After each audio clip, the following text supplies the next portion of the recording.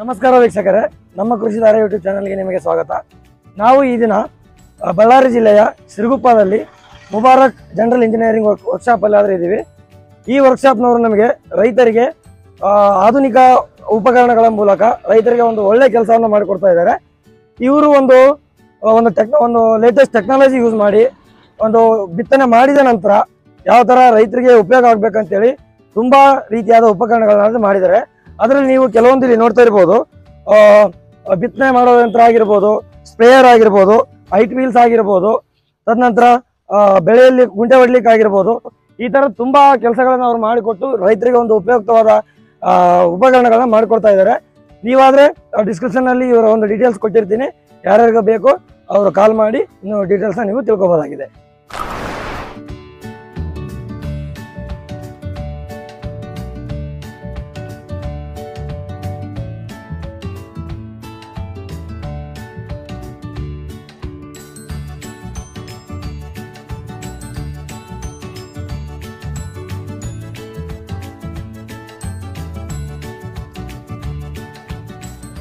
ವೀಕ್ಷಕರೇ ಈಗ Mubarak general engineering works ಅವರು ಮಾಡಿರುವಂತಹ ಬೂತ್ ಪ್ಲೇಯರ್ ನೀವು ಇಲ್ಲಿ ನೋಡ್ತಾ ಇರ್ಬೋದು.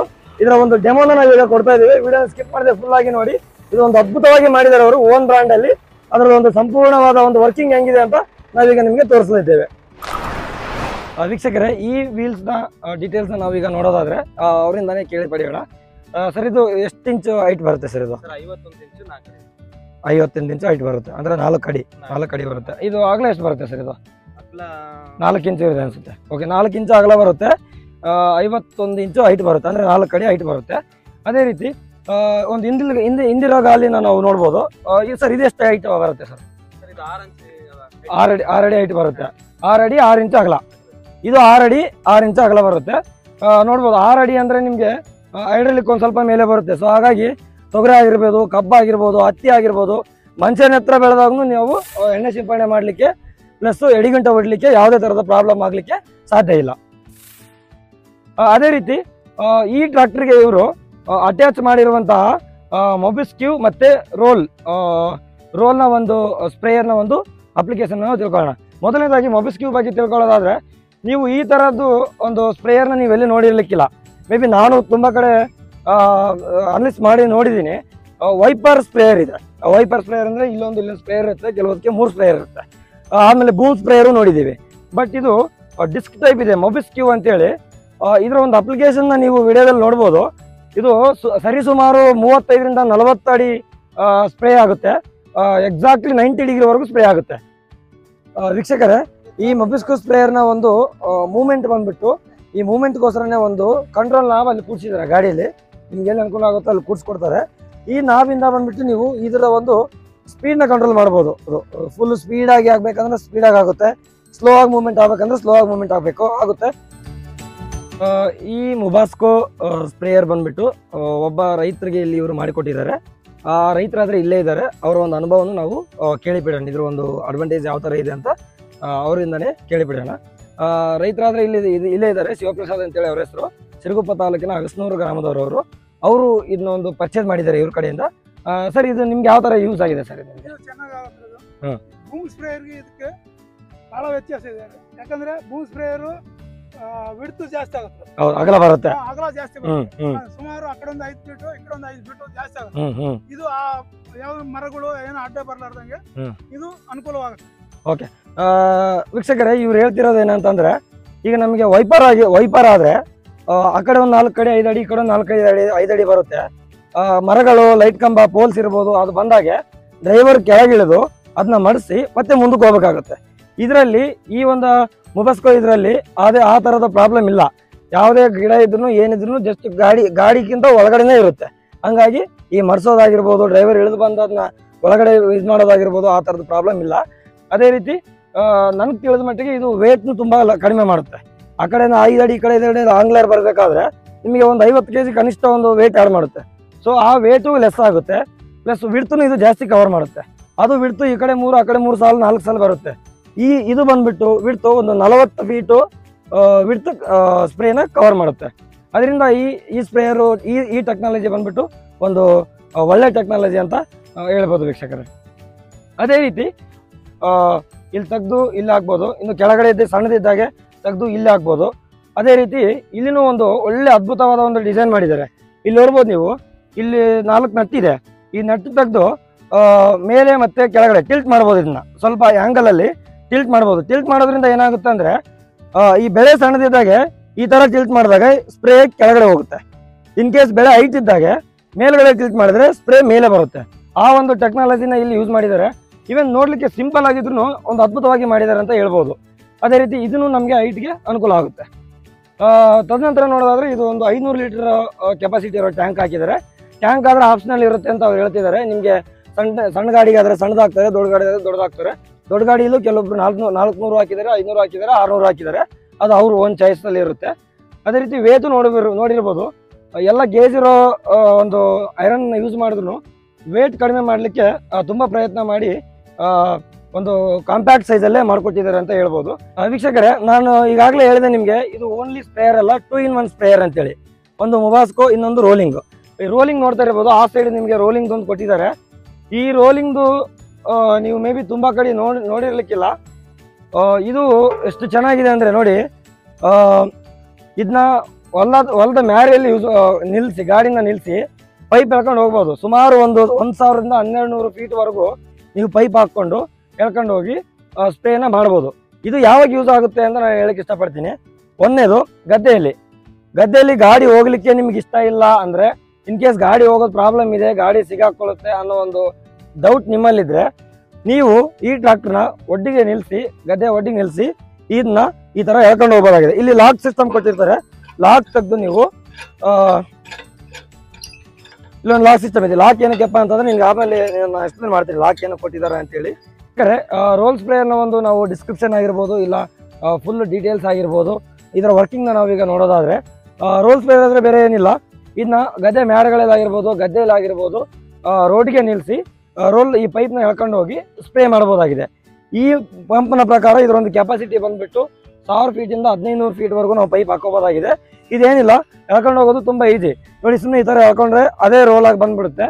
ಸೊ ರಿಟರ್ನ್ ಇದು ಮಾಡೋ ಟೈಮಲ್ಲಿ ನಮಗೆ ಅಲ್ಲಿ ಒಂದು ಹ್ಯಾಂಡಲ್ ಕಾಣುತ್ತೆ ನಿಮಗೆ. ಹ್ಯಾಂಡಲ್ ಕಾಣ್ತಾ ಇರ್ಬೋದು. ಆ ಹ್ಯಾಂಡಲ್ ಹಾಕಿ ಬೆಲ್ಟ್ ಹಾಕೋದ್ರಿಂದ ಅದೇ ರೋಲ್ ಔಟ್ ಮಾಡ್ಕೊಳ್ಳುತ್ತೆ. ಸೊ ಮತ್ತೆ ಅದನ್ನ ಎಳ್ಕೊಳ್ಳೋಕೆ ಮನುಷ್ಯರು ಏನು ಬೇಕಾಗಿಲ್ಲ ಲೇಬರ್ ಖರ್ಚು ನಾವಿಲ್ಲಿ ಉಳಿಸ್ಬೋದಾಗಿದೆ. ಸೊ ನೋಡಿ ಈ ತರ ನೀವು ಒಂದು ಸಾವಿರ ಫೀಟ್ ಹಿಂದ್ಗಡೆನೆ ರೋಡ್ಗೆ ಗಾಡಿ ನಿಲ್ಲಿಸಿ ಹೊಡಿಬೋದಾಗಿದೆ. ಇದರೊಂದು ಮೇನ್ ಅಡ್ವಾಂಟೇಜ್ ಏನಪ್ಪಾ ಅಂತಂದ್ರೆ ನಿಮಗೆ ಗದ್ದೆಯಲ್ಲಿ ಹೊಡಿಬೋದು ಒಂದು, ಆದ್ಮೇಲೆ ಮಳೆ ಬಂದು ನೆಕ್ಸ್ಟ್ ದಿನ ಮಾರುದಿನ ಮರುದಿನನೇ ನೀವು ಸ್ಪ್ರೇ ಮಾಡ್ಬೋದಾಗಿದೆ. ತದನಂತರ ಇನ್ನೊಂದು, ಈ ಮೆಣಸಿನ್ಕಾಯಿ ಯಾರ್ಯಾರು ಬೆಳಿತಿರೋ ಇದು ಒಂದು ತುಂಬಾ ಅನುಕೂಲ ಆಗುತ್ತೆ ಅಂತ ಹೇಳ್ಬೋದು. ಯಾಕಂದ್ರೆ ಮೆಣಸಿನ್ಕಾಯಿ ಗಿಡದಲ್ಲಿ ಟ್ರಾಕ್ಟರ್ ಹೋಗಲ್ಲ.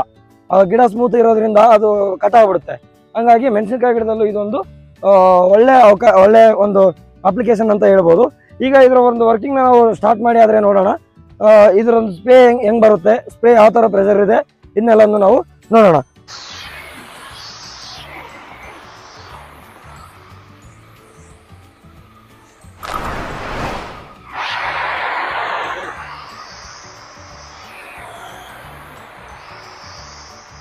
ನೋಡು.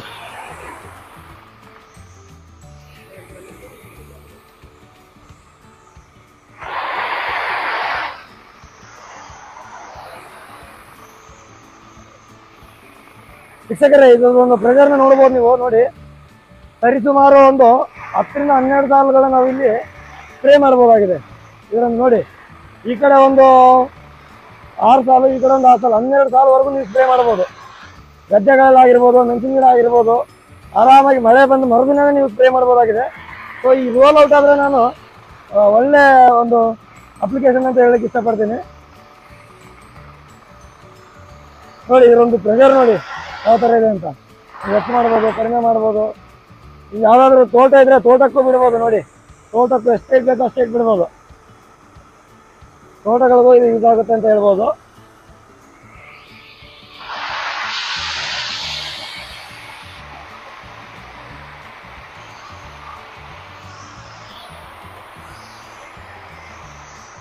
ಒಂದು ಡೌಟ್ ಇರ್ಬೋದು. ಇದು ಎಳ್ಕೊಂಡು ಹೋಗೋದಾದ್ರೆ ಈಸಿಯಾಗಿ ಎಳ್ಕೊಂಡು ಹೋದ್ವಿ. ಸೊ ಬರೋ ಟೈಮಲ್ಲಿ ಯಾವ ಥರ ಅಂದರೆ ಎಳ್ಕೊಳ್ಳೋಕೆ ಒಬ್ರು ಬೇಕಾ ಅಂತ ನಿಮ್ಗೊಂದು ಡೌಟ್ ಇರ್ಬೋದು. ಈಗ ಐವತ್ತು ಮೀಟ್ರ್ ಒಂದು ನೂರು ಮೀಟ್ರ್ ಆದರೆ ಎಳ್ಕೊಂಡು ಬರ್ಬೋದು. ಅಕಸ್ಮಾತ್ ನೀವು ಒಂದು ಸಾವಿರ ಫೀಟ್ ಸಾವಿರ ಫೀಟ್ ಹೋಗಿದ್ರೆ ಅನ್ಕೊಳ್ಳಿ, ಎಳ್ಕೊಳ್ಳೋಕೆ ಕಷ್ಟ ಆಗುತ್ತೆ. ಸೊ ಅದಕ್ಕಾಗಿ ಇವರೊಂದು ಸಿಂಪಲ್ ಆಗಿ ಒಂದು ಒಂದು ಟೆಕ್ನಾಲಜಿ ಯೂಸ್ ಮಾಡಿದ್ದಾರೆ. ಇಲ್ಲೊಂದು, ಇಲ್ಲಿ ನೋಡ್ತಿರ್ಬೋದು ನೀವು ಒಂದು ಸಪ್ರೇಟಾಗಿ ಬೆಲ್ಟ್ ಕೊಟ್ಟಿದ್ದಾರೆ, ಇಲ್ಲೊಂದು ಹ್ಯಾಂಡಲ್ ಕೊಟ್ಟಿದ್ದಾರೆ. ಸೊ ಈ ಬೆಲ್ಟ್ನ ನೀವು ಈ ಪುಲ್ಲಿಗೆ ಹಾಕಿ ಇದನ್ನ ನಾನು ನಿಮ್ಮ ವಿಡಿಯೋದಲ್ಲಿ ನೋಡ್ತಿರ್ಬೋದು. ವಿಡಿಯೋದಲ್ಲಿ ಕವರ್ ಮಾಡ್ತೀವಿ. ಈ ಪುಲ್ಲಿಗೆ ಬೆಲ್ಟ್ ಹಾಕಿ, ಈ ಬೆಲ್ಟ್ ತಗೊಂಡು ಈ ಹ್ಯಾಂಡಲ್ ಪ್ರೆಸ್ ಮಾಡೋದ್ರ ಮೂಲಕ ಈ ವೀಲ್ ತಿರುಗುತ್ತೆ. ಈ ವೀಲ್ ತಿರುಗೋದ್ರಿಂದ ಇದು ವೈಂಡ್ ಆಗಿ ವೈಂಡ್ ಆಗ್ತಾ ಬರುತ್ತೆ. ನಾವು ಅದನ್ನು ಈಗ ವಿಡಿಯೋದಲ್ಲಿ ತೋರಿಸ್ತೀವಿ. ನೀವು ನೋಡ್ಬೋದಾಗಿದೆ. ಇದು ಸಿಂಪಲ್ ಆಗಿದೆ, ನೋಡ್ಲಿಕ್ಕೆ ಇದಾಗ್ತಿರ್ಬೋದು ಸಿಂಪಲ್ ಆಗಿದೆ. ನೀವು ನೋಡ್ತಾ ಇರ್ಬೋದು ಈಗ.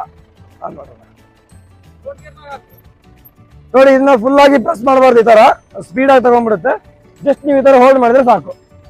ನೋಡಿ, ಅಲ್ಲಿಂದಾನು ಆರಾಮಾಗಿ ನಾವು ಸುತ್ತ ಮಾಡ್ಕೊಂತ ಹೋಗ್ಬೋದು. ಜಸ್ಟ್ ಹಿಂಗೆ ಇಟ್ಕೊಂತ ಹೋಗ್ಬಿಟ್ರೆ ಮುಗೀತು. ನೋಡಿ ಆರಾಮಾಗಪ್ಪ ಅಂದ್ರೆ ನೀವು ಸ್ಪೀಡ್ ಕಡಿಮೆ ಇರ್ತದೆ ನಿಮಗೆ ಹ್ಯಾಂಡಲ್ ಮಾಡ್ಲಿಕ್ಕೆ ಈಸಿ ಆಗುತ್ತೆ.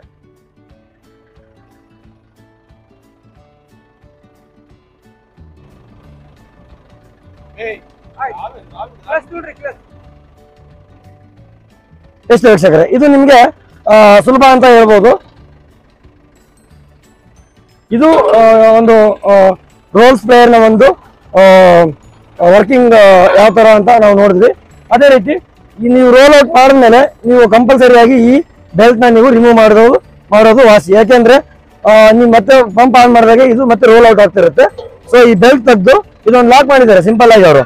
ಈ ಲಾಕ್ ಮಾಡೋದ್ರ ಮುಖಾಂತರ ಈ ಲಾಕ್ ಏನಿಲ್ಲ ಸೇಫ್ಟಿ ಲಾಕ್ ಈ ಸೇಫ್ಟಿ ಲಾಕ್ ಏನು ಯೂಸ್ ಅಪ್ಪ ಅಂತಂದ್ರೆ ಇನ್ ಕೇಸ್ ಬೆಲ್ಟ್ ನೀವು ಹಂಗೆ ಹಾಕಿ ಬೆಲ್ಟ್ ನೀವು ಹಂಗೆ ಹಾಕಿದ್ರಿ ಅಂದ್ರೂ ಈ ಸೇಫ್ಟಿ ಲಾಕ್ ಏನ್ ಮಾಡುತ್ತೆ, ಇಲ್ಲಿವರೆಗೂ ಬಂದು ಹೋಲ್ಡ್ ಆಗ್ಬಿಡುತ್ತೆ. ಸೊ ಒಂಥರ ಇದು ಗಾಡಿಗೆ ಸ್ಟ್ಯಾಂಡ್ ಆಗ್ದಂಗೆ ಮುಗೀತು. ಇಷ್ಟು ಬಂದು ಹೋಲ್ಡ್ ಆಗುತ್ತೆ. ಸೊ ಸೇಫ್ ಆಗಿರುತ್ತೆ. ಇದು ಒಂದು ರೋಲ್ ಸ್ಪ್ರೇನ ಒಂದು ಅದ್ಭುತವಾದ ಟೆಕ್ನಾಲಜಿ ಅಂತ ಹೇಳ್ಬೋದು. ನಾವು ಸ್ಪ್ರೇಯರ್ನ ಒಂದು ಅಪ್ಲಿಕೇಶನ್ ನೋಡಿದ್ವಿ. ಅದೇ ರೀತಿ ಈ ಗಾಡಿ ಒಂದು ಕ್ಲಿಯರೆನ್ಸ್ ನೋಡ್ಬೋದು ನೀವು. ಇವಾಗಾದ್ರೆ ಫೋರ್ ಸೆವೆನ್ ಫೈವ್ ಗಾಡಿಗೆ ಹಾಕಿದ್ದಾರೆ. ಈ ವೀಕ್ಷಕರೇ, ಈ ಇಂಪೋರ್ಟೆಡ್ ಸಾಲಿಡ್ ವೀಲ್ಸ್ ಹಾಕಿರೋದ್ರಿಂದ ಕ್ಲಿಯರೆನ್ಸ್ ಎಷ್ಟು ಜಾಸ್ತಿ ಆಗಿದೆ ಅಂತ ನೀವು, ನಾವೀಗ ನೋಡೋದಾದ್ರೆ ನೀವು ಕೆಳಗಡೆ ಗಮನಿಸ್ಬೋದು. ನಾರ್ಮಲ್ ನಾರ್ಮಲ್ ಹೈಟ್ಗಿಂತ ನಾರ್ಮಲ್ ಕ್ಲಿಯರೆನ್ಸ್ಗಿಂತ ಎರಡೂವರೆ ಅಡಿ ಎರಡೂವರೆ ಅಡಿ ಇದು ಜಾಸ್ತಿ ಹೈಟ್ ಬಂದಿದೆ. ಹಾಗಾಗಿ ಬೆಳೆಗೆ ಯಾವುದೇ ಥರ ಹಾನಿ ಉಂಟಾಗಲ್ಲ. ಏನು ಏನು ಗಿಡ ಮುರಿಯೋದಾಗಿರ್ಬೋದು, ಬಾಗೋದಾಗಿರ್ಬೋದು, ಆ ಥರದ್ದು ನಮಗೆ ಯೂಸ್ ಆಗುತ್ತೆ. ಯಾಕಂದರೆ ಎರಡೂವರೆ ಅಡಿ ನಮಗೆ ಹೈಟ್ ಬರ್ತಾ ಇದೆ. ಅದೇ ರೀತಿ ಹಿಂದ್ಗಡೆನೂ ನಾವು ಹೈಡ್ರಲಿಕ್ ಯೂಸ್ ಮಾಡಿನೂ ಬೆಳೆ ಚಿಕ್ಕದಿದ್ದಾಗ ಕೆಳಗಡೆ ಇಳಿಸ್ಬೋದು, ದೊಡ್ಡದಾದ್ಮೇಲೆ ನಾವು ಮೇಲೆ ಹಾಕೋಬೋದು. ಇವನ್ ಬೂಮ್ ಸ್ಪ್ರೇಯರ್ನು ಹಿಂದ್ಗಡೆ ನಾವು ಮೊಬಿಸ್ಕ್ಯೂನ ಹೈಟ್ ಮಾಡ್ಕೋಬೋದಾಗಿದೆ ಅದನ್ನು ನೀವು ಅಲ್ಲಿ ನೋಡಿದ್ರಿ.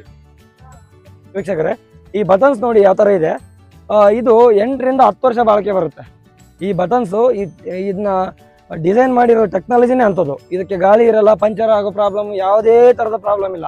ಪಂಚರ್ ಆಗಿತ್ತು ಪಂಚರ್ ಹಾಕ್ಸ್ಕೊಂಬರೋದು, ನಿಲ್ಸೋದು ಪ್ರಾಬ್ಲಮ್ ಇಲ್ಲ. ಇದು ಒಂದು ಎಂಟರಿಂದ ಹತ್ತು ವರ್ಷ ಬಾಳಿಕೆ ಬರುತ್ತೆ. ಈ ಡಿಸೈನ್ ಮಾಡಿರೋದಂಗೆ ಮಾಡಿದ್ದಾರೆ ಸಿಗಾಕೊಳ್ಳಲ್ಲ. ಆದಮೇಲೆ ಈ ಗಾಡಿಗೆ ಇದೊಂದು ಗ್ರಿಪ್ ಬರುತ್ತೆ. ಈ ಬಟನ್ಸ್ ಇರೋದ್ರಿಂದನೇ ಈ ಇಷ್ಟು ವೇಟ್ನ ಇದು ತಡ್ಕೊಳ್ತಿರೋದು ಮುಂದಕ್ಕೆ ಬರ್ತಾ ಇರೋದು. ಎಂಟೈರ್ ಸೆಟಪ್ಗೆ ಅವರು ಟೋಟಲ್ ಪ್ರೈಸ್ ಹೇಳ್ತಿರೋದು ಬಂದು ಎಂಬತ್ತು ಸಾವಿರದಿಂದ ಒಂದು ಲಕ್ಷ ಎಪ್ಪತ್ತೈದು ಸಾವಿರದವರೆಗೂ ವೇರಿಯೇಷನ್ ಆಗುತ್ತೆ. ಏನಕ್ಕೆ ವೇರಿಯೇಷನ್ ಆಗುತ್ತಪ್ಪ ಅಂತಂದರೆ, ಗಾಡಿಯಿಂದ ಗಾಡಿಗೆ ಲೋಡಿಂದ ಲೋಡ್ಗೆ ವೇಟ್ಗೆ ವೇಟ್ ಮೇಲೆ ಡಿಪೆಂಡ್ ಮಾಡಿ ಅವರು ಒಂದು ಈ ಗಾಲಿನ ಒಂದು ಫಿಕ್ಸ್ ಮಾಡ್ತಾರೆ. ಅದೇ ರೀತಿ ಈ ಸ್ಪ್ರೇಯರ್ಗೆ ನಾವು ಟೂ ಇನ್ ಒನ್ ಸ್ಪ್ರೇಯರ್ ಬೇಕಾ ಸಿಂಗಲ್ ಸ್ಪ್ರೇಯರ್ ಬೇಕಾ ತ್ರೀ ಇನ್ ಒನ್ ಸ್ಪ್ರೇಯರ್ ಬೇಕಾ, ಅದ್ರ ಮೇಲೇನು ರೇಟಲ್ಲಿ ವೇರಿಯೇಷನ್ ಆಗುತ್ತೆ. ಅದೇ ರೀತಿ ಪಂಪ್ ಆಗಿರ್ಬೋದು. ಈ ಕಸ್ಟಮರ್ ಬಂದ್ಬಿಟ್ಟು seven point five H P pump ಹಾಕ್ಸ್ಕೊಂಡಿದ್ದಾರೆ. So ಹಾಗಾಗಿ ಪ್ರೈಸಲ್ಲಿ ಹೈ ಇರುತ್ತೆ. ಇನ್ ಕೇಸ್ ನೀವು three H P five H P pump ಹಾಕ್ಸ್ಕೊಂಡ್ರೆ low price low ಆಗುತ್ತೆ. ಆದಮೇಲೆ ಪಂಪ್ನ ಒಂದು ಬ್ರಾಂಡ್ ಬ್ರಾಂಡ್ ಮೇಲೂ ಈ ಒಂದು ರೇಟು ವೇರಿಯೇಷನ್ ಇರುತ್ತೆ. ಅದೇ ರೀತಿ ಎರಡು ಟ್ಯಾಂಕ್ ಕೊಡಿಸಿದ್ದಾರೆ ಇವರು. ಈ ಥರದೆಲ್ಲ ಎಕ್ಸ್ಟ್ರಾ ಮಾಡಿಸಿದಾಗೆ ನಿಮಗೆ ಕಾಸ್ಟ್ ಸ್ವಲ್ಪ ಜಾಸ್ತಿ ಆಗ್ಬೋದು. ನೀ, ಇದೆಲ್ಲ ನಿಮ್ಮ ಮೇಲೆ ಡಿಪೆಂಡ್ ಆಗಿರುತ್ತೆ. ಬಟ್ ಅವ್ರು ಹೇಳೋ ಪ್ರಕಾರ, ಒಂದು ಪ್ರೈಸ್ ಬಂದ್ಬಿಟ್ಟು ಎಂಬತ್ತು ಸಾವಿರದಿಂದ ಒಂದು ಲಕ್ಷ ಎಪ್ಪತ್ತೈದು ಸಾವಿರದವರೆಗೂ ಒಂದು ಕೋಟ್ ಮಾಡ್ತಾ ಇದ್ದಾರೆ ಸೊ ಈ ಪ್ರೈಸಲ್ಲಿ ಈ ಒಂದು ಸಿಸ್ಟಮೆಟಿಕ್ಕು ಒಳ್ಳೆ ಒಂದು, ಒಳ್ಳೆ ಪ್ರೈಸ್ಗೆ ಅಂತ ಹೇಳ್ಬೋದು. ನಾನು ಕೆಲವೊಂದು ಕಡೆ ಎನ್ಕ್ವೈರಿ ಮಾಡಿದ್ದೀನಿ, ತುಂಬ ಕಡೆ ಮಾಡಿದ್ದೀನಿ. ಸೊ ಈ ಪ್ರೈಸ್ಗೆ ಇಲ್ಲ ಅಂತಲೂ ಹೇಳ್ಬೋದು. ಯಾಕಂದರೆ ನಾನು ತುಂಬ ಕಡೆ ಒಂದು ಎನ್ಕ್ವೈರಿ ಮಾಡಿರೋ ಮಾಡಿರೋ ಪ್ರಕಾರ. ಸೊ ಇದು, ಇದಿಷ್ಟು ಇದರ ಒಂದು ಮಾಹಿತಿ. ಈ ಒಂದು ಎಂಟೈರ್ ಸೆಟಪ್ನ ಮಾಡಿ ರೈತರಿಗೆ ಉಪಯೋಗ ಉಪಯೋಗವಾಗಿ ಉಪಯ ಉಪಯುಕ್ತವಾಗಿರುವಂತಹ ಒಂದು ಪ್ರಾಡಕ್ಟ್ನ ಕೊಟ್ಟಿರುವಂತಹ ಮುಬಾರಕ್ ಜನರಲ್ ಇಂಜಿನಿಯರಿಂಗ್ ಅವರಿಗೆ ಧನ್ಯವಾದಗಳನ್ನು ಅರ್ಪಿಸುತ್ತಾ, ಈ ವಿಡಿಯೋನ ನೀವು ಕಂಪ್ಲೀಟಾಗಿ ನೋಡಿದ್ದಕ್ಕಾಗಿ ಎಲ್ಲರಿಗೂ ಧನ್ಯವಾದಗಳು.